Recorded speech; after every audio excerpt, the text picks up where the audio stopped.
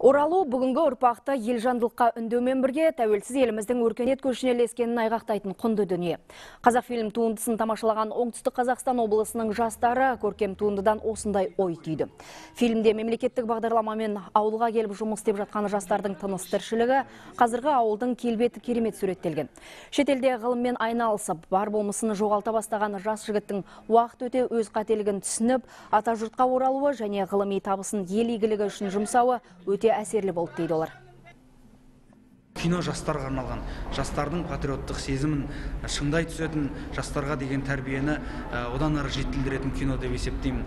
Жалпы оралу бұл ә, жаңағыдай елдің жастар ел жастарының ел жандылығын дамытады деген, дамытады деген ойдамын.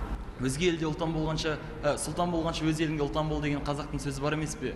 Сол сияқты өз еліңде ұлтан болсаң да оның бір кішкентай кірпішін қалап тұрып оның ертеңге деген нық сенімменен алға басып елімізді көркейтуге деген еңбегіңді арнай алсаң бұл өте үлкен керемет. Жиырма жылдың ішінде ақпараттық технологиялармен дамып бізде интернет жүйелерінің жоғарғы деңгейге дамығаны және де сондағы бүкіл оқушылардың жаңа ақпараттық технологиялармен білім алғандығын байқауға болады. Бұның барлығы елбасымыздың еңбегі деп білемін.